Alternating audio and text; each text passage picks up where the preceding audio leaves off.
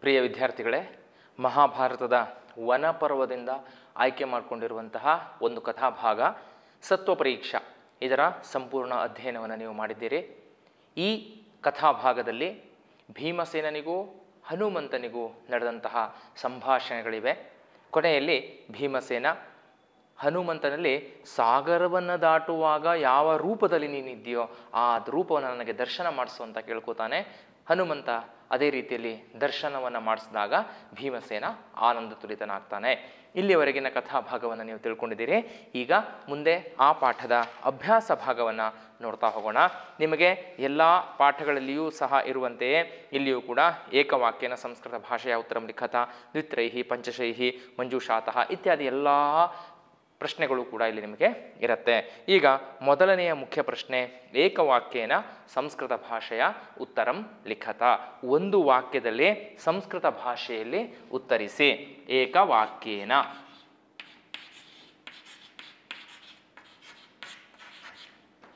ಸಂಸ್ಕೃತ ಭಾಷೆಯ ಉತ್ತರಂ ಲಿಖತ.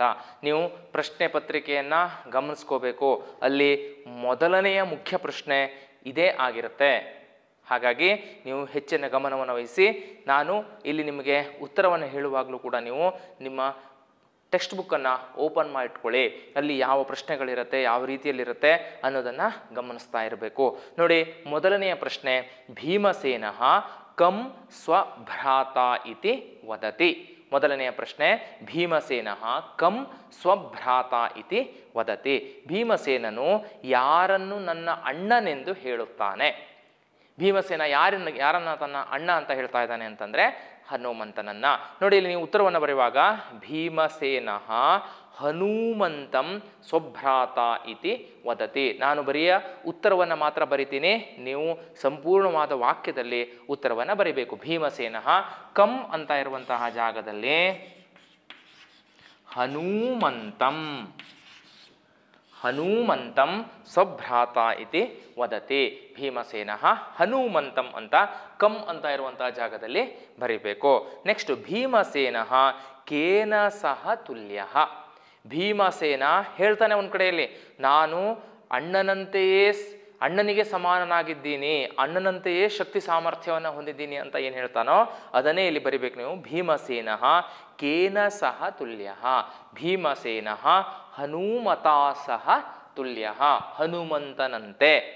ಹನುಮತ, ಅಲ್ಲಿ ಕೇನ ಅಂತ ಇರೋ ಜಾಗದಲ್ಲಿ ನೀವು ಹನುಮತ.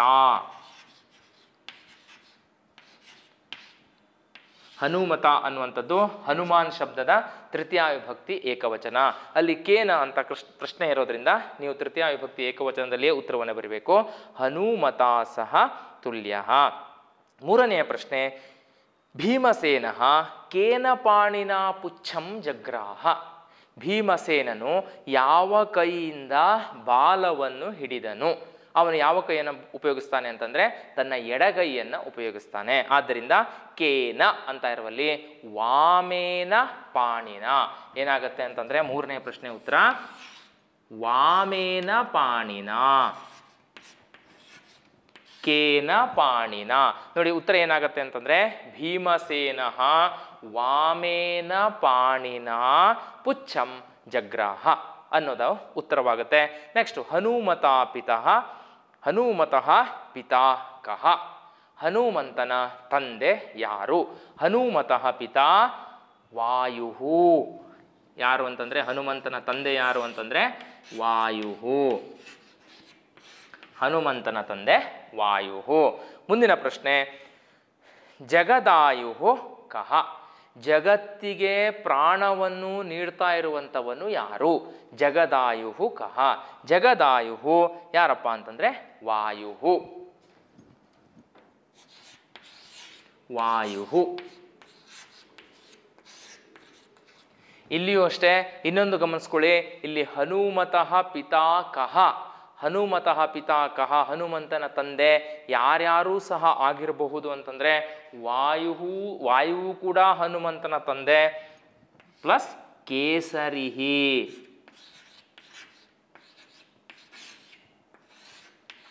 ಈ ಕೇಸರಿ ಅನ್ನುವಂಥವನು ಕೂಡ ಹನುಮಂತನ ತಂದೆ. ನೆನಪಲ್ಲಿಟ್ಕೊಳ್ಳಿ. ವಾಯು ಕೇಸರಿಹಿ ನೀವು ಯಾವ ಉತ್ತರವನ್ನು ಬರೆದ್ರೂ ಕೂಡ ಸರಿಯಾಗಿರುತ್ತೆ. ಕೇಸರಿಹಿ ಅಂತ ನಾವು ಬರಿಬೋದು ವಾಯು ಅಂತಲೂ ಕೂಡ ಬರೀಬಹುದು. ನೆಕ್ಸ್ಟು ಕೊನೆಯ ಪ್ರಶ್ನೆ, ಮಕರಾಲಯ, ಕಹ. ಮಕರಾಲಯವು ಯಾವುದು? ಮಕರಗಳು ವಾಸಿಸುವುದಕ್ಕೆ ಯೋಗ್ಯವಾಗಿರುವಂತಹ ಪ್ರದೇಶ ಯಾವುದು? ಮಕರಗಳು, ಮೊಸಳೆಗಳು ಎಲ್ಲಿ ವಾಸಿಸುತ್ತವೆ? ಅಲ್ಲಿ ನಿಮಗೆ ಇದೆ, ಸಾಗರ. ಮಕರಾಲಯ, ಸಾಗರ. ನೀವು ಕಹ ಅಂತ ಇರೋ ಜಾಗದಲ್ಲಿ ಉತ್ತರವನ್ನು ಬರಬೇಕು. ಮಕರಾಲಯ, ಸಾಗರ. ಒಂದು ಸೆಂಟೆನ್ಸಲ್ಲಿಯೇ ನೀವು ಉತ್ತರವನ್ನು ಬರಿಬೇಕು, ನೆನ್ಪಿಟ್ಕೊಳ್ಳಿ. ನೆಕ್ಸ್ಟು ದ್ವಿತ್ರೈಹಿ ವಾಕ್ಯೈಹಿ ಸಂಸ್ಕೃತ ಭಾಷೆಯ, ಕನ್ನಡ ಭಾಷೆಯ, ಆಂಗ್ಲ ಭಾಷೆಯ ಉತ್ತರಂ ಲಿಖತ?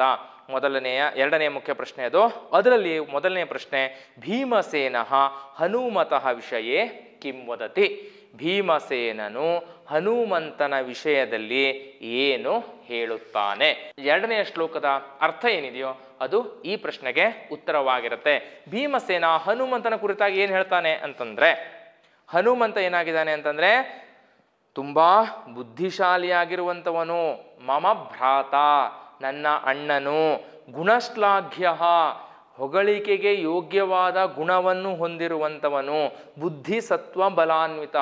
ಬುದ್ಧಿಯನ್ನ, ಶಕ್ತಿಯನ್ನ, ಬಲವನ್ನು, ಸಾಮರ್ಥ್ಯವನ್ನು ಹೊಂದಿರುವಂಥವನು ರಾಮಾಯಣೇ ಅತಿ ವಿಖ್ಯಾತ. ರಾಮಾಯಣದಲ್ಲಿ ಅತ್ಯಂತ ಶ್ರೇಷ್ಠನಾಗಿರುವಂಥವನು ಶೂರ, ಶೂರನು ವಾನರ ಪುಂಗವ. ವಾನರರಲ್ಲಿ ಶ್ರೇಷ್ಠನಾಗಿರುವಂಥವನು. ಇವಿಷ್ಟು ಭೀಮಸೇನ ತನ್ನ ಅಣ್ಣನಾಗಿರುವಂತಹ ಹನುಮಂತನ ವಿಷಯದಲ್ಲಿ ಹೇಳ್ತಾನೆ. ಇಷ್ಟನ್ನು ಬರೆದಾಗ ನಿಮಗೆ ಎರಡು ಅಂಕಗಳು ದೊರೆಯುತ್ತವೆ. ಎರಡನೇ ಪ್ರಶ್ನೆ, ಭೀಮಸೇನ ಆತ್ಮಾನಂ ಕಥಂ ಪರಿಚಾಯತಿ ಭೀಮಸೇನನು ತನ್ನನ್ನು ಹೇಗೆ ಪರಿಚಯಿಸಿಕೊಳ್ಳುತ್ತಾನೆ? ಮೂರನೇ ಶ್ಲೋಕಕ್ಕೆ. ಮೂರನೇ ಶ್ಲೋಕದ ಅನ್ವಯ ಇದರ ಉತ್ತರವಾಗಿರುತ್ತೆ. ಸಮೇ ಭ್ರಾತ ಮಹಾವೀರ್ಯ. ಅನ್ನುವಂಥದ್ದೇನಿದೆಯೋ ಅದು ಭೀಮಸೇನ ಆತ್ಮಾನಂ ತನ್ನನ್ನು ಹೇಗೆ ಪರಿಚಯ ಮಾಡ್ಕೊಳ್ತಾನೆ, ಅವನೇನು ಹೇಳ್ತಾನೆ ಅಂತಂದ್ರೆ, ಸಹ ಮೇ ಭ್ರಾತ ಮಹಾವೀರ್ಯ, ಯಾವ ರಾಮಾಯಣದಲ್ಲಿ ಅತ್ಯಂತ ವಿಖ್ಯಾತನಾಗಿರುವಂತಹ ತನ್ನ ಅಣ್ಣ ಇದ್ದಾನೋ, ಅವನಿಗೆ ತಮ್ಮನಾಗಿದ್ದೀನಿ ನಾನು. ಅದರ ಜೊತೆಗೆ ಅವನಿಗೆ ಎಷ್ಟು ಶಕ್ತಿ ಸಾಮರ್ಥ್ಯಗಳು, ಬುದ್ಧಿ ಎಲ್ಲವೂ ಸಹ ಇತ್ತೋ, ಅದರಂತೆ ನನಗೂ ಸಹ ಇದೆ, ನಾನು ಅವನಿಗೆ ಸಮಾನನಾಗಿದ್ದೇನೆ. ಯಾವ್ದ್ಯಾವುದರಲ್ಲಿ? ಬಲೆ, ಪರಾಕ್ರಮೆ, ಯುದ್ಧೆ. ಬಲದ ಶಕ್ತಿ ಸಾಮರ್ಥ್ಯದಲ್ಲಿ. ಹಾಗೆ ಆ ಶಕ್ತಿ ಸಾಮರ್ಥ್ಯವನ್ನು ತೋರಿಸುವುದರಲ್ಲಿ, ಯುದ್ಧದಲ್ಲಿ ನಾನು ಅವನಿಗೆ ಸಮಾನನಾಗಿದ್ದೀನಿ ಎಂಬುದಾಗಿ ಭೀಮಸೇನ ತನ್ನ ಪರಿಚಯವನ್ನು ಹೇಳಿಕೊಳ್ಳುತ್ತಾನೆ. ಇಷ್ಟನ್ನು ನೀವು ಬರೀಬೇಕಾಗತ್ತೆ. ಭೀಮಸೇನ ಕಿಮರ್ಥಂ ಹನುಮತಃ ಕ್ಷಮಾಂ ಯಾಚತಿ ಮುಂದನೆಯ ಪ್ರಶ್ನೆ, ಅವನು ಭೀಮಸೇನ ಹನುಮಂತನ ಹತ್ತಿರ ಯಾಕೆ ಕ್ಷಮೆಯನ್ನು ಕೇಳ್ತಾನೆ? ಅವನು ಯಾಕೆ ಕ್ಷಮೆಯನ್ನು ಕೇಳ್ತಾನೆ ಅಂತಂದ್ರೆ ನೀವು ಉತ್ತರವನ್ನು ಬರೀಬೇಕು. ಭೀಮಸೇನನು ತನ್ನ ಬಾಹುಗಳಲ್ಲಿರುವಂತಹ ಶಕ್ತಿಯ ಮೇಲೆ ಅಹಂಕಾರವನ್ನು ಹೊಂದಿದವನಾಗಿ ಎಡಗೈಯಿಂದ ಬಾಲವನ್ನು ಎತ್ತಲು ಪ್ರಯತ್ನಿಸಿ ವಿಫಲನಾಗುತ್ತಾನೆ. ಪುನಃ ಎರಡೂ ಕೈಗಳಿಂದ ಎತ್ತಲು ಪ್ರಯತ್ನಿಸಿ ವಿಫಲನಾಗುತ್ತಾನೆ. ಆಗ ಅವನು ನಾಚಿಕೆಯಿಂದ ತಲೆ ತಗ್ಗಿಸಿ ಹನುಮಂತನ ಬಳಿ ಕ್ಷಮೆಯನ್ನು ಕೇಳುತ್ತಾನೆ. ಸಿಂಪಲ್ ಆಗಿದೆ. ಇಷ್ಟನ್ನು ಮಾತ್ರ ಬರೆದ್ರೆ ನೀವು ಸಾಕಾಗತ್ತೆ. ಎರಡು ಅಂಕಗಳ ಪ್ರಶ್ನೆ ಇದು. ಹನುಮಾನ್ ಸ್ವಪರಿಚಯಂ ಕಥಂ ಕರೋತಿ. ಹನುಮಂತನು ತನ್ನ ಪರಿಚಯವನ್ನ ಹೇಗೆ ಮಾಡಿಕೊಳ್ಳುತ್ತಾನೆ? ಇದಕ್ಕೆ ಯಾವುದಪ್ಪ, ಯಾವುದನ್ನು ಬರಿಬೇಕು ಅಂತಂದ್ರೆ ನೀವು ನೋಡಿ ಹದಿಮೂರನೇ ಶ್ಲೋಕದ ಅನ್ವಯ. ಹದಿಮೂರನೇ ಶ್ಲೋಕಕ್ಕೆ ಏನು ಅರ್ಥವನ್ನು ಹೇಳಿದ್ದಾರೋ ಅದರ ಅರ್ಥವನ್ನು ಬರಿಬೇಕು ನೀವು. ಅಹಂ ಕೇಸರಿನ ಕ್ಷೇತ್ರೇ ವಾಯುನ ಜಗದಾಯುಷ ಜಾತಃ ಕಮಲಪತ್ರಾಕ್ಷ ಹನುಮನ್ನಾಮ ವಾನರಃ. ಅವನು ತನ್ನ ಪರಿಚಯವನ್ನು ಹೇಳ್ಕೊತಾನೆ, ನಾನು ಕೇಸರಿ ಎಂಬಂತಹ ಒಬ್ಬ ವಾನರ ರಾಜನ ಪತ್ನಿಯಲ್ಲಿ ವಾಯುವಿನಿಂದ ಜನಿಸಿದವನಾಗಿದ್ದೇನೆ. ನನ್ನ ಹೆಸರು ಹನುಮಂತ ಎಂಬುದಾಗಿ. ಎಂಬುದನ್ನು ಯಾರು? ಹನುಮಂತ ತನ್ನ ಪರಿಚಯವನ್ನು ಹೇಳಿಕೊಳ್ಳುತ್ತಾನೆ. ಗನ, ಗಮನಿಸಿ ಇಲ್ಲಿ, ನೀವು ಈ ದ್ವಿತ್ರೈಹಿ ವಾಕ್ಯ ಅನ್ನುವಂಥದ್ದೇನಿದೆಯೋ ಇದನ್ನು ನೀವು ಮೂರೂ ಭಾಷೆಯಲ್ಲಿಯೂ ಕೂಡ ಬರಿಬೋದು ಕನ್ನಡದಲ್ಲಾದರೂ ಬರೀರಿ, ಸಂಸ್ಕೃತದಲ್ಲಾದರೂ ಬರೀರಿ, ಅಥವಾ ಇಂಗ್ಲೀಷ್ನಲ್ಲಾದರೂ ನೀವು ಇದನ್ನು ಬರೀಬಹುದು. ನೆನಪಲ್ಲಿ ಇಟ್ಕೊಳ್ಳಿ. ಮೂರನೆಯ ಮುಖ್ಯ ಪ್ರಶ್ನೆ ದಶವಾಕ್ಯ ಸಂಸ್ಕೃತ ಭಾಷೆಯ, ಕನ್ನಡ ಭಾಷೆಯ, ಆಂಗ್ಲ ಭಾಷೆಯ ಉತ್ತಮ ಲಿಖತ. ಇದು ಅಷ್ಟೇ ಲಾಂಗ್ ಆನ್ಸರ್ ಇದು. ಇದನ್ನು ನೀವೇನು ಮಾಡ್ಬೋದು ಅಂತಂದರೆ ಮೂರೂ ಭಾಷೆಯಲ್ಲಿಯೂ ಕೂಡ ಬರೀಬಹುದು. ಮೊದಲನೆಯದು ಭೀಮಸೇನಸ್ಯ ಪಾತ್ರಚಿತ್ರಣಂ. ಭೀಮ ಈಗ ನಿಮಗೆ ಕೊಟ್ಟಿರುವಂತಹ ಕಥಾಭಾಗದಲ್ಲಿ ಭೀಮನನ್ನ ಯಾವ ರೀತಿಯಲ್ಲಿ ತೋರಿಸಿದ್ದಾರೆ ಅನ್ನೋದನ್ನು ನೀವೇನು ಮಾಡಬೇಕು? ಇಲ್ಲಿ ಸಂಪೂರ್ಣವಾಗಿ ಬರಿಬೇಕಾಗತ್ತೆ. ಏನು? ಆರಂಭದಲ್ಲಿ ಏನಾಗಿರುತ್ತೆ ಅಂತಂದರೆ ಭೀಮಸೇನ ತನ್ನ ಪರಿಚಯವನ್ನ ಮತ್ತೆ ತನ್ನ ಅಣ್ಣನ ಪರಿಚಯವನ್ನ ಮಾಡಿಸ್ತಾನೆ. ಹೇಗೆ? ಅವನಿಗೆ ಅಣ್ಣನ ಮೇಲೆ ಅತ್ಯಾಗಿರುವಂತಹ ಆದರ, ಪ್ರೀತಿ ಅನ್ನುವಂಥದ್ದಿತ್ತು, ಗೌರವ ಅನ್ನುವಂಥದ್ದಿತ್ತು ತನ್ನ ಅಣ್ಣ. ರಾಮಾಯಣದಲ್ಲಿ ಅತ್ಯಂತ ವಿಖ್ಯಾತನಾಗಿದ್ದಾನೆ. ಶಕ್ತಿಶಾಲಿಯು, ಬುದ್ಧಿಯು, ಶೂರನು, ಇವೆಲ್ಲವನ್ನು ಸಹ ಆಗಿದ್ದಾನೆ ಅಂತ ಹೇಳೋದ್ರಿಂದ ನಮಗೆ ಏನು ಗೊತ್ತಾಗುತ್ತೆ ಅಂತಂದರೆ ಭೀಮಸೇನನಿಗೆ ತನ್ನ ಅಣ್ಣನ ಮೇಲೆ ಅಪಾರವಾಗಿರುವಂತಹ ಗೌರವವಿತ್ತು. ಅದರ ಜೊತೆಗೆ ತನಗೂ ಕೂಡ ಅಣ್ಣನಷ್ಟೇ ಶಕ್ತಿ ಸಾಮರ್ಥ್ಯ ಇರೋದ್ರಿಂದ ನನ್ನನ್ನು ಸೋಲಿಸುವಂಥವರು ಯಾರೂ ಕೂಡ ಇಲ್ಲ. ನಿನ್ನನ್ನು ಕೂಡ ನಾನೇನು ಮಾಡಿಬಿಡ್ತೀನಿ? ಸೋಲಿಸ್ಬಿಡ್ತೀನಿ. ಎನ್ನುವುದಾಗಿ ತನ್ನ ಶಕ್ತಿ ಸಾಮರ್ಥ್ಯದ ಮೇಲೆ ಅಪಾರವಾಗಿರುವಂತಹ ಅಹಂಕಾರವೂ ಕೂಡ ಅವನಿಗೆ ಇತ್ತು. ಆ ಅಹಂಕಾರವನ್ನು ಕಡಿಮೆ ಮಾಡುವುದಕ್ಕಾಗಿ ಹನುಮಂತ ಏನು ಮಾಡ್ತಾನೆ? ಹೇಳ್ತಾನೆ, ನನಗೆ ವಯಸ್ಸಾಗಿರೋದ್ರಿಂದ ನನಗೆ ಇಲ್ಲಿಂದ ಎದ್ದೇಳೋಕ್ಕಾಗ್ತಾ ಇಲ್ಲ. ದಯವಿಟ್ಟು ನೀನು ನನ್ನ ಬಾಲವನ್ನು ಪಕ್ಕಕ್ಕೆ ಸರಿಸಿ ಮುಂದೆ ಹೋಗಬೇಕು ಅಂತ ಹೇಳ್ತಾನೆ. ಆಗ ಭೀಮಸೇನ ಅವನ ಬಾಲವನ್ನು ಎತ್ತೋದಕ್ಕೆ ಪ್ರಯತ್ನಿಸ್ತಾನೆ. ಮೊದಲು ಇದು ಯಾವ ಬಾಲ ಇದನ್ನು ಯಾರಾದರೂ ಕೂಡ ಎತ್ತು ಬಿಡ್ಬೋದು ಅಂದ್ಕೊಂಡು ಎಡಗೈಯಿಂದ ಎತ್ತೋದಕ್ಕೆ ಪ್ರಯತ್ನಿಸ್ತಾನೆ. ಆಗ ಸಾಧ್ಯವಾಗದೆ ಹೋದಾಗ ಎರಡೂ ಕೈಯಿಂದ ಪ್ರಯತ್ನಿಸಿ ವಿಫಲನಾದಾಗ ಅವನು ಅಂತಹ ವಿಫಲನಾಗಿರುವಂತಹ ಸಂದರ್ಭದಲ್ಲಿ ಕ್ಷಮೆಯನ್ನು ಯಾಚಿಸ್ತಾನೆ. ನೋಡಿ, ಅಷ್ಟು ಅಹಂಕಾರ ಇರುವಂತಹ ಭೀಮಸೇನ ಒಮ್ಮೆಲೆ ಬೇರೆಯವರ ಎದುರುಗಡೆಯಲ್ಲಿ ತನ್ನಿಂದ ಆಗದೇ ಇರುವಂತಹ ಕೆಲಸಕ್ಕೆ ಕ್ಷಮೆಯನ್ನು ಕೇಳೋದಕ್ಕೂ ಕೂಡ ಸಿದ್ಧನಾಗ್ತಾನೆ. ಅನಂತರ ಇವನು ತನ್ನ ಅಣ್ಣ ಅಂತ ಗೊತ್ತಾದ್ಮೇಲೆ ಅವನಿಗೆ ಅತ್ಯಂತ ಸಂತೋಷವಾಗುತ್ತೆ. ಆಗ ಅವನೇನು ಮಾಡ್ತಾನೆ ಅಂತಂದರೆ ತನ್ನ ಅಣ್ಣನ ಬಳಿಯಲ್ಲಿ ಕೇಳ್ತಾನೆ, ನೀನು ಸಾಗರವನ್ನು ದಾಟುವಾಗ ಯಾವ ರೂಪವನ್ನು ಹೊಂದಿದ್ಯೋ ಆ ರೂಪವನ್ನು ನನಗೆ ತೋರಿಸು ಅಂತ ಕೇಳ್ಕೋತಾನೆ. ಆಗ ಅದನ್ನು ನೋಡಿ ಅತ್ಯಂತ ಸಂತೋಷದಿಂದ ಆನಂದ ತುಲಿತನಾಗಿ ಅವನು ತನ್ನ ಅಣ್ಣನನ್ನು ನೋಡ್ತಾನೆ. ಇವಿಷ್ಟು ಈ ಪಾಠದಲ್ಲಿ ಭೀಮನನ್ನು ವಿವರಿಸಿದ್ದಾರೆ. ಇದನ್ನ ನಾವು ಅದನ್ನು ಪಾತ್ರಚಿತ್ರಣ ಅಂತ ಕರಿತೀವಿ. ಇದನ್ನು ನೀವು ಸಂಪೂರ್ಣವಾಗಿ ಬರೀಬೇಕು. ದಶವಾಕ್ಯ ಈ ಹತ್ತು ವಾಕ್ಯಗಳಲ್ಲಿ. ಅಂದರೆ ಸಾಮಾನ್ಯವಾಗಿ ಒಂದು ಪೇಜಿಗೆ ಆಗುವಷ್ಟು ನೀವು ಅದನ್ನು ಬರೀಬೇಕಾಗತ್ತೆ. ನೆಕ್ಸ್ಟು, ಹನುಮತಾಕೃತ ಭೀಮಸತ್ವ ಪರೀಕ್ಷಾ, ಹನುಮತಾಕೃತ ಭೀಮಸತ್ವ ಪರೀಕ್ಷಾ.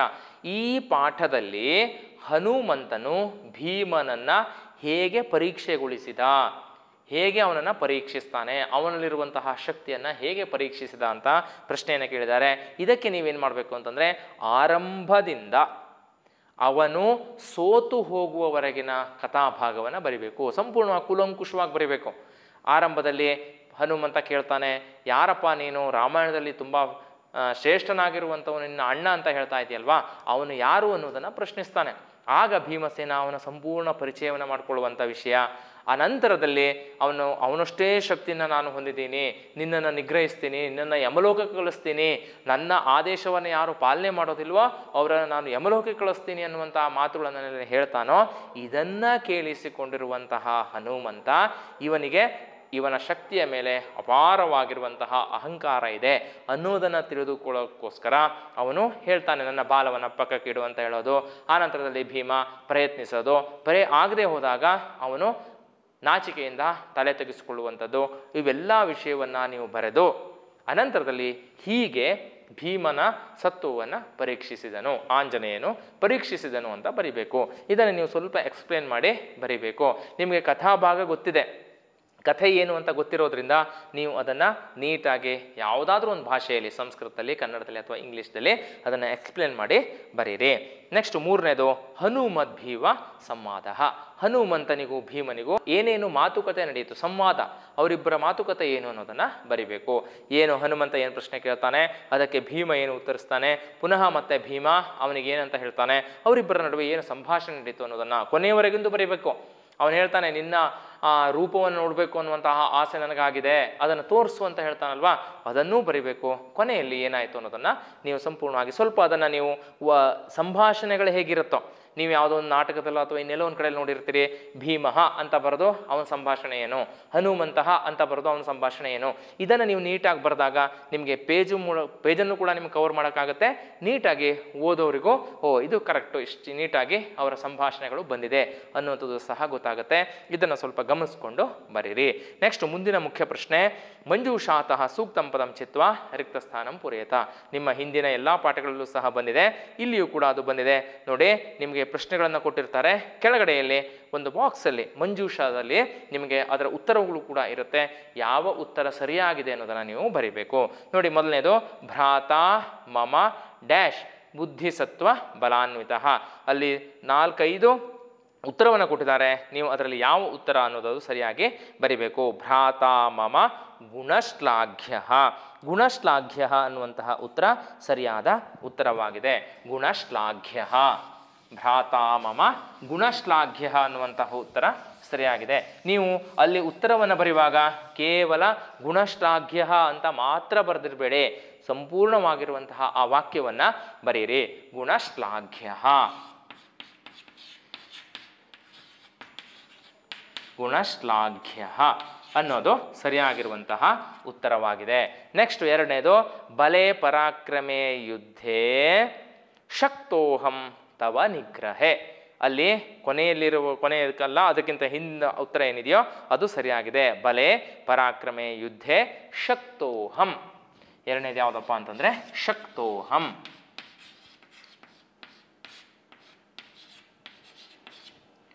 ಶಕ್ತೋಹಂ ತವ ನಿಗ್ರಹೆ. ಮುಂದಿನದು, ಪ್ರಸೀದ ಕಪಿಶಾರ್ದೂಲ ದುರುಕ್ತಂ ಕ್ಷಮ್ಯತಾ ಮಮ. ಕೊನೆಯದು ನೋಡಿ ಪ್ರಸೀದ ಕಪಿಶಾರ್ದೂಲ ದುರುಕ್ತಂ ಕ್ಷಮ್ಯತಾಂ ಮಮ. ಇಲ್ಲಿ ದುರುಕ್ತಂ ಅನ್ನುವಂತಹ ಉತ್ತರ ಸರಿಯಾದ ಉತ್ತರ. ದುರುಕ್ತಂ ಕ್ಷಮ್ಯತಾಂ ಮಮ. ರೂಪಂ ಅಪ್ರತಿಮಂ ವೀರ ತದಿಚ್ಛಾಮಿ ನಿರೀಕ್ಷಿತುಂ. ರೂಪಂ ಅಪ್ರತಿಮಂ ವೀರ ನೋಡಿ ಕೊನೆಯಲ್ಲಿ ಹೇಳ್ತಾ ಇರುವಂಥದ್ದು, ನಿನ್ನ ಅಪ್ರತಿಮವಾಗಿರುವಂತಹ ರೂಪವನ್ನು ನೋಡೋದಕ್ಕೆ ಇಷ್ಟಪಡ್ತೀನಿ. ತದಿಚ್ಛಾಮಿ ನಿರೀಕ್ಷಿತುಂ, ಅದನ್ನು ನೋಡೋದಕ್ಕೆ ಇಚ್ಛಿಸುತ್ತೇನೆ. ಅಲ್ಲಿ ತದಿಚ್ಛಾಮಿ ಅನ್ನುವಂಥದ್ದು ಸರಿಯಾದ ಉತ್ತರ. ತದಿಚ್ಛಾಮಿ. ತದಿಚ್ಛಾಮಿ ಅನ್ನುವಂಥದ್ದು ಸರಿಯಾದ ಉತ್ತರವಾಗಿದೆ. ಕೊನೆಯದು, ತದ್ರೂಪಂ ದರ್ಶಯಾಮಾಸ ಯದ್ವೈ ಸಾಗರ ಲಂಘನೆ ಕೊನೆಯ ಶ್ಲೋಕ ಆಗಿದೆ. ಯಾವ ಸಾಗರವನ್ನು ಲಂಘಿಸುವ ಸಮಯದಲ್ಲಿ ಏನು ರೂಪವನ್ನು ಧರಿಸಿಕೊಂಡಿದ್ನೋ ಅದನ್ನು ತೋರಿಸ್ತಾನೆ. ಸಾಗರ ಲಂಘನೆ. ಕೊನೆಯದು, ಐದನೇದು ಸರಿಯಾದ ಉತ್ತರವಾಗಿದೆ. ಸಾಗರ ಲಂಘನೆ. ಸಾಗರ ಲಂಘನೆ ಅನ್ನುವಂಥದ್ದು ಸರಿಯಾದ ಉತ್ತರವಾಗಿದೆ. ದಯವಿಟ್ಟು ಸರಿಯಾಗಿ ಗಮನಿಸ್ಕೊಳ್ಳಿ. ನೆಕ್ಸ್ಟು ಐದನೇ ಮುಖ್ಯ ಪ್ರಶ್ನೆ, ರೇಖಾಂಕಿತ ಪದಾನಿ ಆಶ್ರಿತ್ಯ ಪ್ರಶ್ನೆ ನಿರ್ಮಾಣಂ. ನಿಮಗೆ ಅಲ್ಲಿ ಉತ್ತರವನ್ನು ಕೊಟ್ಟು ಅದಕ್ಕೆ ಒಂದು ಅಂಡರ್ಲೈನ್ ಮಾಡಿರ್ತಾರೆ. ಅದಕ್ಕೆ ಯಾವುದು ಸರಿಯಾಗಿರುವಂತಹ ಪ್ರಶ್ನವಾಚಕ ಶಬ್ದ ಯಾವುದು ಅನ್ನೋದನ್ನು ಬರಿಬೇಕು. ಭೀಮಃ ಪುಚ್ಛಂ ಚಾಲಯಿತು ನ ಶಶಾಕ. ಪುಚ್ಛಂ ಅಂತ ಇರುವಂಥದ್ದಕ್ಕೆ ಅಂಡರ್ಲೈನ್ ಮಾಡಿದ್ದಾರೆ. ಅಲ್ಲಿ ನೀವು ಪ್ರಶ್ನೆಯನ್ನು ಮಾಡಿದಾಗ ಏನಾಗುತ್ತೆ ಅದು? ಭೀಮಃ ಕಂ ಚಾಲಯಿತುಂ. ಪುಚ್ಛಂ ಅಂತ ಇರುವಂತಹ ಜಾಗದಲ್ಲಿ ಕಂ ಚಾಲಯಿತುಂ ನ ಶಶಾಕ. ನೆಕ್ಸ್ಟು ಖಿನ್ನಗಾತ್ರೋಭವತ್ ಭೀಮಃ.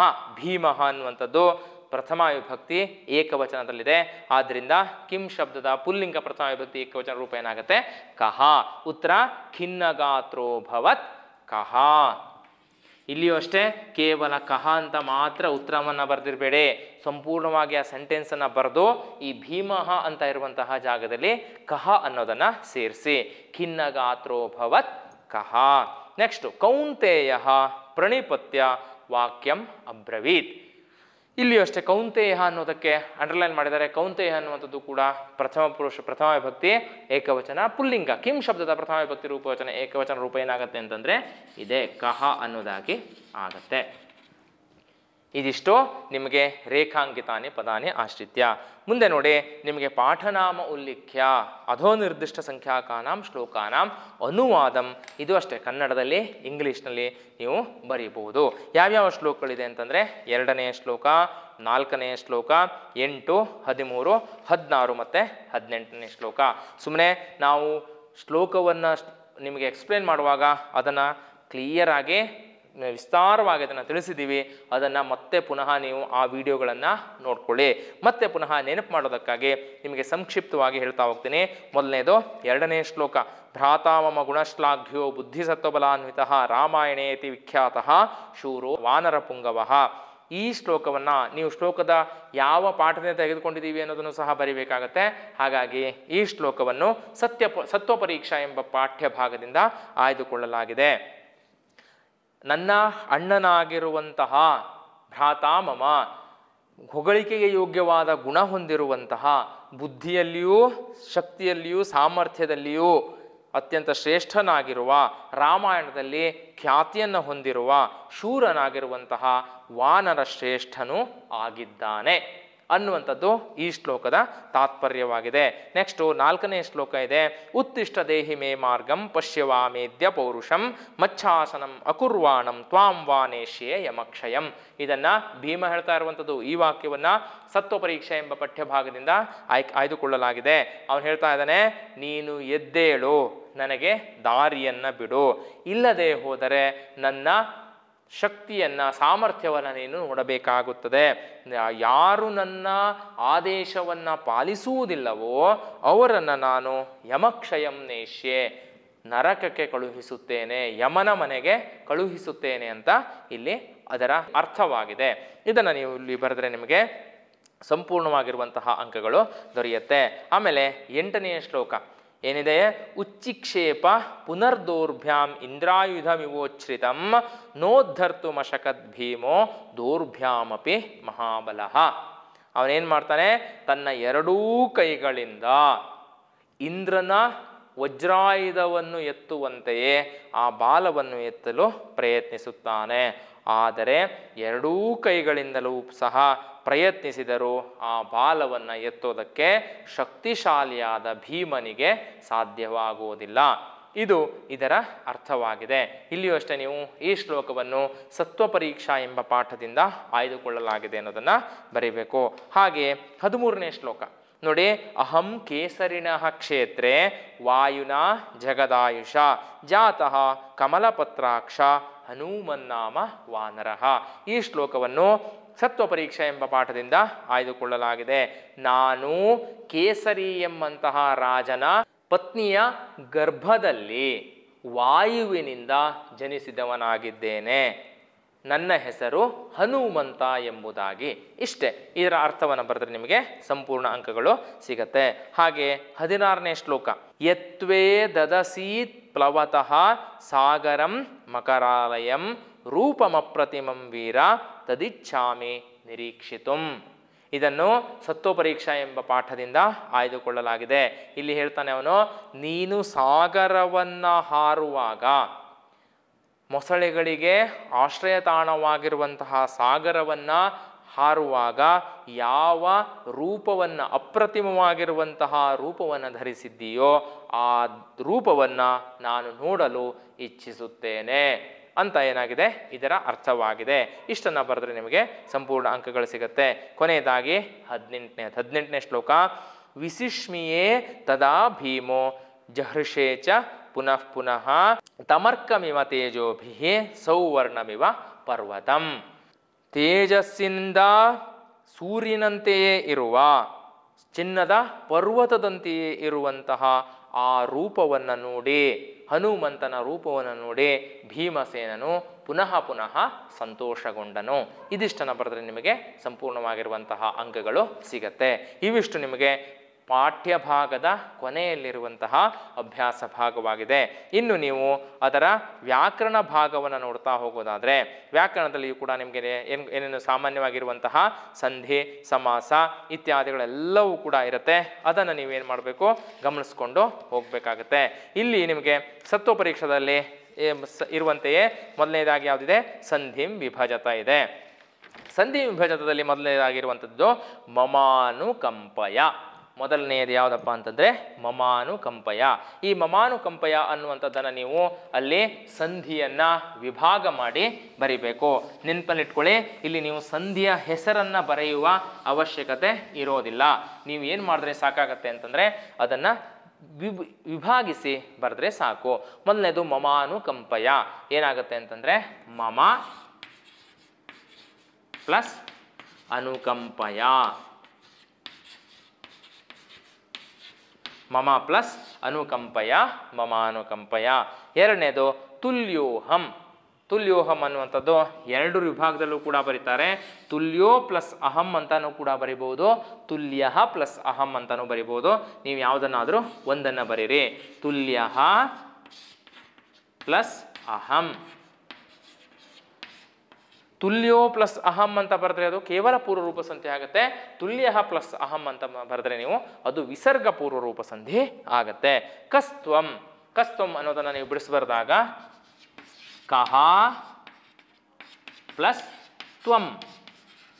ಕಹ ಪ್ಲಸ್ ತ್ವಂ, ಕಸ್ತ್ವಂ ಅನ್ನೋದಾಗಿ ರೂಪ. ಸಂಧಿಂ ಯೋಜಯತ. ನಿಮಗೆ ಅಲ್ಲಿ ಸ್ಪ್ಲಿಟ್ ಮಾಡಿಕೊಟ್ಟಿರ್ತಾರೆ, ಅದನ್ನು ನೀವೇನು ಮಾಡಬೇಕು?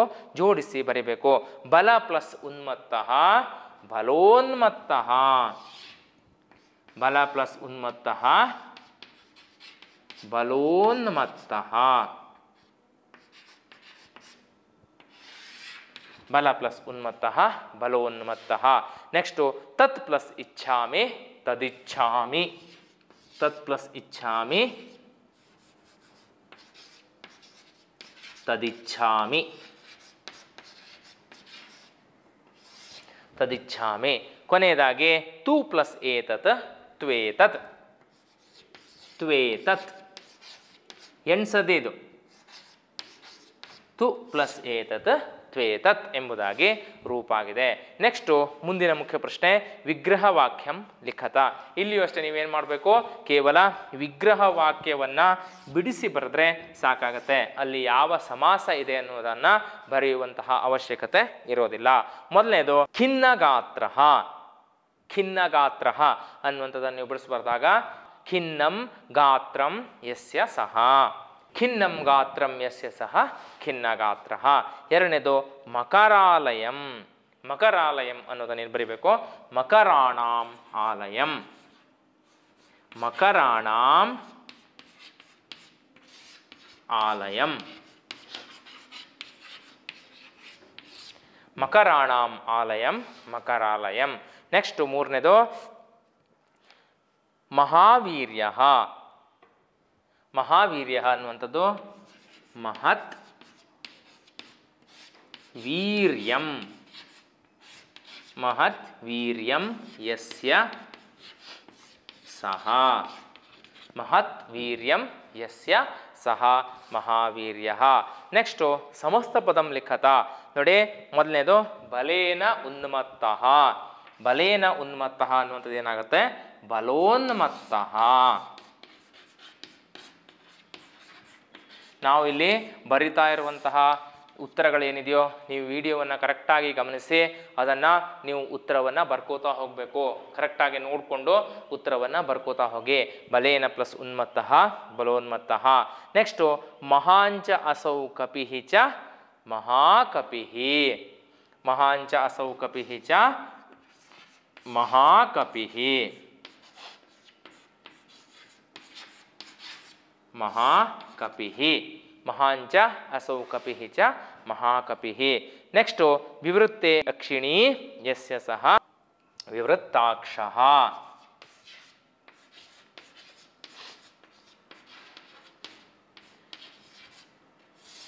ವಿವೃತ್ತಾಕ್ಷ ಅನ್ನೋದನ್ನು ಬರೀಬೇಕು. ನೆಕ್ಸ್ಟು ರಿಕ್ತಸ್ಥಾನೆ ಸೂಕ್ತಂ ವಿಭಕ್ತಿ ರೂಪಂ ಲಿಖತ. ಅದೇ ಹೇಳಿದ್ದೀನಿ ನಿಮಗೆ ಎಲ್ಲ ಪ್ರಶ್ನೆಗಳು, ಎಲ್ಲ ಪಾಠದಲ್ಲಿಯೂ ಇದು ಬಂದಿದೆ. ನಿಮಗೆ ಏಕವಚನ, ದ್ವಿವಚನ, ಬಹುವಚನ ಆ ಮೂರು ವಚನಗಳಲ್ಲಿ ಎರಡು ವಚನವನ್ನು ಕೊಟ್ಟು ಒಂದು ವಚನವನ್ನು ಕೊಟ್ಟಿರೋದಿಲ್ಲ. ಅದು ನೀವು ಯಾವುದು ಸರಿಯಾಗಿದೆ ಅನ್ನೋದನ್ನು ಬರಿಬೇಕು. ನೋಡಿ ಮೊದಲನೇದು, ಕೇಸರಿ ಕೇಸರಿಣೌ ಕೇಸರಿಣಃ ಅನ್ನುವಂಥದ್ದು ಸರಿಯಾದ ಉತ್ತರವಾಗಿದೆ. ಇಲ್ಲಿ ನೀವು ಯಾವುದೋ ಒಂದು ಪುಲ್ಲಿಂಗದಲ್ಲಿದೆಯೋ ಅಥವಾ ಸ್ತ್ರೀಲಿಂಗದಲ್ಲಿದೆಯೋ ಅಥವಾ ಅದು ನಪುಂಸಕ ಲಿಂಗದಲ್ಲಿದೆಯೋ ಅದು ಯಾವ ಲಿಂಗದಲ್ಲಿದೆ ಅನ್ನೋದನ್ನು ಗಮನಿಸಿ. ಅದು ಪುಲ್ಲಿಂಗದಲ್ಲಿದ್ದರೆ ಅದರ ಯಾವ ವಿಭಕ್ತಿಯ ರೂಪವನ್ನು ಕೇಳಿರ್ತಾರೋ ಅದನ್ನೇ ಬರಿಬೇಕು. ನೋಡಿ ಇಲ್ಲಿ ಕೇಸರಿ ಕೇಸರಿಣೌ ಎರಡು ಕೊಟ್ಟಿದ್ದಾರೆ. ಉತ್ತರ ಏನಾಗುತ್ತೆ ಅಂತಂದರೆ ಕೇಸರಿಣ ಕೇಸರಿ ಕೇಸರಿಣೌ ಕೇಸರಿಣ ನೆಕ್ಸ್ಟು ಮೊದಲನೇ ಏಕವಚನವನ್ನು ಕೊಟ್ಟಿಲ್ಲ. ದ್ವಿವಚನ, ಬಹುವಚನ ಕೊಟ್ಟಿದ್ದಾರೆ. ವಾಗ್ಭ್ಯಾಂ, ವಾಗ್ಭಿಹಿ ಅಂತ ಕೊಟ್ಟಿದ್ದಾರೆ. ಅದರ ಏಕವಚನ ರೂಪ ಏನಾಗುತ್ತೆ ಅಂತಂದ್ರೆ ವಾಚಾ. ವಾಚಾ ಅನ್ನುವಂಥದ್ದು ಏಕವಚನ ರೂಪ. ವಾಚಾ, ವಾಗ್ಭ್ಯಾಂ, ವಾಗ್ಭಿಹಿ. ವಾಚಾ, ವಾಗ್ಭ್ಯಾಂ, ವಾಗ್ಭಿಹಿ. ನೆಕ್ಸ್ಟು ಭ್ರಾತ ಅಂತ ಏಕವಚನ ಕೊಟ್ಟಿದ್ದಾರೆ. ದ್ವಿವಚನ ಕೊಟ್ಟಿಲ್ಲ, ಭ್ರಾತರಹ ಅಂತ ಬಹುವಚನ ಕೊಟ್ಟಿದ್ದಾರೆ. ಏನಾಗುತ್ತೆ ದ್ವಿವಚನ ರೂಪ? ಭ್ರಾತ, ಭ್ರಾತರೌ. ಏನಾಗುತ್ತೆ? ಭ್ರಾತರೌ. ಭ್ರಾತರೌ ಅನ್ನುವಂಥದ್ದು ದ್ವಿವಚನ ರೂಪವಾಗಿದೆ. ನೆಕ್ಸ್ಟು ರಿಕ್ತ ಸೂಕ್ತಂ ಕ್ರಿಯಾಪದ ರೂಪಂ ಲಿಖತ. ಹೇಗೆ? ಲಿಂಗ ವಿಭಕ್ತಿಯಲ್ಲಿ ಒಂದನ್ನು ಕೊಟ್ಟಿರ್ತಾ ಇರಲಿಲ್ವೋ? ಇಲ್ಲಿಯೂ ಕೂಡ ಕ್ರಿಯಾಪದದಲ್ಲಿ ಒಂದನ್ನು ಕೊಟ್ಟಿರೋದಿಲ್ಲ. ನೀವು ಅದನ್ನು ಬರಿಬೇಕು. ನೋಡಿ, ಮೊದಲನೇದರಲ್ಲಿ ಏಕವಚನ ಕೊಟ್ಟಿಲ್ಲ. ದ್ವಿವಚನ, ಬಹುವಚನ ಕೊಟ್ಟಿದ್ದಾರೆ. ಇಚ್ಛಾವಹ, ಇಚ್ಛಾಮಹ. ಏಕವಚನ ರೂಪ ಏನಾಗುತ್ತೆ ಅಂತಂದರೆ ಇಚ್ಛಾಮಿ. ಏನಾಗುತ್ತೆ? ಇಚ್ಛಾಮಿ. ಇಚ್ಛಾಮಿ ಅನ್ನುವಂಥದ್ದು ಏಕವಚನ ರೂಪವಾಗಿದೆ. ನೆಕ್ಸ್ಟು ಶಕ್ಯತೆ ಅನ್ನುವಂಥದ್ದು ಏಕವಚನ ಕೊಟ್ಟಿದ್ದಾರೆ. ದ್ವಿವಚನವನ್ನು ಕೊಟ್ಟಿಲ್ಲ. ಬಹುವಚನ ಶಕ್ಯಂತೆ. ಏನಾಗುತ್ತೆ ದ್ವಿವಚನ ರೂಪ? ಶಕ್ಯತೆ. ಶಕ್ಯೇತೆ. ಏನಾಗುತ್ತೆ? ಶಕ್ಯೇತೆ. ಶಕ್ಯತೆ, ಶಕ್ಯೇತೆ, ಶಕ್ಯಂತೆ. ನೆಕ್ಸ್ಟು ಇಲ್ಲಿಯೂ ಅಷ್ಟೇ ಏಕವಚನ ರೂಪವನ್ನು ಕೊಟ್ಟಿಲ್ಲ. ಉತ್ತಿಷ್ಠತಂ ಉತ್ತಿಷ್ಠತ ಅಂತ ದ್ವಿವಚನ, ಬಹುವಚನವನ್ನು ಕೊಟ್ಟಿದ್ದಾರೆ. ಏಕವಚನ ರೂಪ ಏನಾಗುತ್ತೆ ಅಂತಂದರೆ ಅದು ಉತ್ತಿಷ್ಠ. ಇದು ಲೋಟ್ಲಕಾರ ರೂಪ ಆಗಿರೋದ್ರಿಂದ ಉತ್ತಿಷ್ಠ. ಮಧ್ಯಮ ಪುರುಷ ಏಕವಚನ, ದ್ವಿವಚನ ಬಹುವಚನ ಅಲ್ಲಿದೆ ಉತ್ತಿಷ್ಠ, ಉತ್ತಿಷ್ಠತಂ, ಉತ್ತಿಷ್ಠತ. ನೆಕ್ಸ್ಟು ಪದಪರಿಚಯಂ ಕುರುತ. ಪದಪರಿಚಯಂ ಕುರುತ, ಇದು ಸುಲಭವಾಗಿರುತ್ತೆ ಸಾಮಾನ್ಯವಾಗಿ. ಲೆಬಂತಾಯ, ಲೆಬಂತಾವೇವೋ ಅಥವಾ ತುಮುನ್ನಂತಾವೆಯವೋ ಕ್ತ ಪ್ರತ್ಯಯವೋ ಅಥವಾ ಇನ್ಯಾವುದೋ ಒಂದು ಸುಲಭವಾಗಿರುತ್ತೆ. ನೀವು ಗಮನಿಸ್ಕೊಂಡು ಬರೀಬೇಕು. ಕೆಲವೊಮ್ಮೆ ಕ್ತಪ್ರತ್ಯಯವನ್ನು ಬರೆಯುವಾಗ ಸ್ವಲ್ಪ ಅದು ಪುಲ್ಲಿಂಗದಲ್ಲಿದೆಯೋ, ಸ್ತ್ರೀಲಿಂಗದಲ್ಲಿದೆಯೋ, ನಪುಂಸಕಲಿಂಗದಿದೆಯೋ ಅನ್ನೋದನ್ನೆಲ್ಲ ಒಂಚೂರು ನಿಮಗೆ ಗೊಂದಲಗಳು ಉಂಟಾದಾಗ ನಿಮಗೆ ಅಲ್ಲಿ ಗಮನಿಸ್ಕೊಂಡು ಯಾವ ಪ್ರತ್ಯಯ ಬಂದಿದೆ ಅನ್ನೋದನ್ನು ಬರಿಬೇಕು. ಮೊದಲನೇದು ವಿಜ್ಞಾಯ. ಇಲ್ಲಿ ಯಾವ ಪ್ರತ್ಯಯ ಬಂದು ಏನು ರೂಪ ಆಗಿದೆ ಅಂತಂದರೆ ಲೆಪ್ ಅನ್ನುವಂತಹ ಪ್ರತ್ಯಯ ಬಂದು ಲ್ಯಬಂತಾವ್ಯಯಂ. ಲ್ಯಬಂತಾವ್ಯಯಂ ಅಂತ ನೀವು ಬರೀಬೇಕು. ಲ್ಯಬಂತಾವ್ಯಯಂ ಅನ್ನೋದು ಸರಿಯಾದ ಉತ್ತರ. ನೆಕ್ಸ್ಟು ನಿರೀಕ್ಷಿತುಂ. ಇಲ್ಲಿ ಯಾವ್ದು ಬಂದಿದೆಯಪ್ಪ ಅಂತಂದರೆ ತುಮುನ್ ಎಂಬಂತಹ ಒಂದು ಪ್ರತ್ಯಯ ಬಂದು ಅದನ್ನು ಅವ್ಯವನ್ನಾಗಿ ಕನ್ವರ್ಟ್ ಮಾಡಿದೆ. ತುಮುನ್ನಂತಾವ್ಯಯಂ. ಏನಾಗಿದೆ? ತುಮುನ್ನಂತಾವ್ಯಯಂ.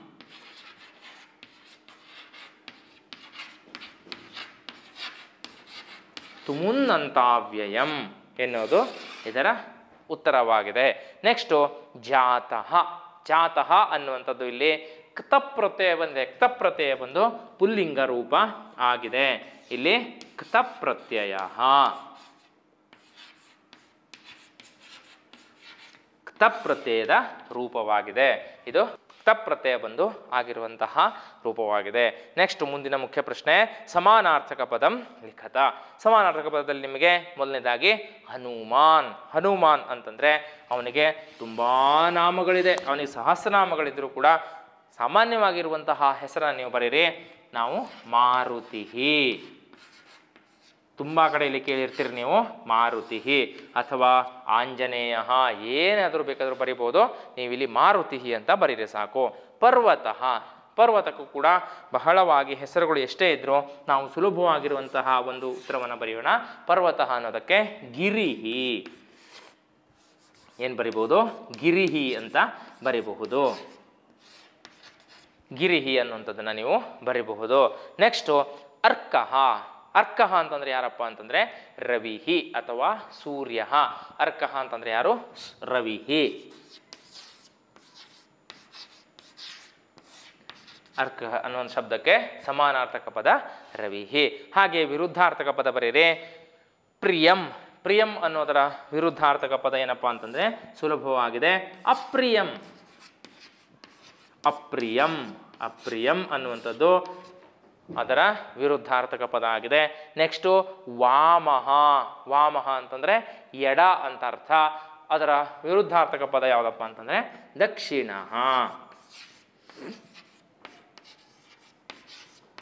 ದಕ್ಷಿಣ ಅನ್ನುವಂಥದ್ದು ಅದರ ವಿರುದ್ಧಾರ್ಥಕ ಪದವಾಗಿದೆ. ನೆಕ್ಸ್ಟು ದುರುಕ್ತಂ. ದುರುಕ್ತಂ ಅಂತಂದರೆ ಕೆಟ್ಟ ಮಾತು ಅಂತ ಅರ್ಥ.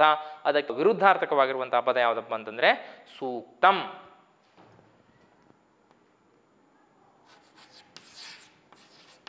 ಸೂಕ್ತಂ. ಸೂಕ್ತಂ ಅಂತಂದರೆ ಸೂಕ್ತಂ, ಒಳ್ಳೆ ಮಾತು ಅಂತ ಅರ್ಥ. ಹಾಂ? ದುರುಕ್ತಂ ಅನ್ನೋದರ ವಿರುದ್ಧಾರ್ಥಕ ಪದ ಸೂಕ್ತಂ ಅನ್ನೋದಾಗಿ ಆಗಿದೆ. ಇವಿಷ್ಟು ನಿಮ್ಮ ವ್ಯಾಕರಣ ಭಾಗದಲ್ಲಿ ಬಂದಿರುವಂತಹ ಸತ್ವ ಪರೀಕ್ಷೆ ಎಂಬಂತಹ ಪಾಠಕ್ಕೆ ಸಂಬಂಧಿಸಿರುವಂತಹ ಪ್ರಶ್ನೆಗಳು. ನೀವು ಈ ನಾವಿಲ್ಲಿ ಬರೆಸಿರುವಂಥದ್ದನ್ನು, ಹೇಳಿರೋದನ್ನು ನೀವು ಒಂದು ನೋಟ್ಸ್ ಮಾಡ್ಕೋಬೇಕು. ನೋಟ್ಸಲ್ಲಿ ಅದನ್ನು ಕ್ಲಿಯರಾಗಿ ಬರ್ಕೊಂಡ್ರಿ ಅಂತಂದರೆ ಆನಂತರದಲ್ಲಿ ಇನ್ನೊಂದು ದಿವಸ ನಿಮಗೆ ಮತ್ತೆ ಟೆಸ್ಟೋ ಅಥವಾ ಎಕ್ಸಾಮುಗಳು ಬಂದಾಗ ನೀವು ಈ ವಿಡಿಯೋವನ್ನು ನೋಡ್ತಾ ನೀವು ಬರ್ಕೊಂಡಿರುವಂಥ ನೋಟ್ಸನ್ನು ಸುಮ್ಮನೆ ಒಂದ್ಸರಿ ಗಮನಿಸ್ಕೊಂಡ್ರು ನಿಮಗೆ ಬೇಗ ಉತ್ತರಗಳು ಗೊತ್ತಾಗುತ್ತೆ. ಪರೀಕ್ಷೆಯಲ್ಲಿ ಬರೆಯೋದಕ್ಕೂ ಸುಲಭ ಆಗುತ್ತೆ ಧನ್ಯವಾದಗಳು.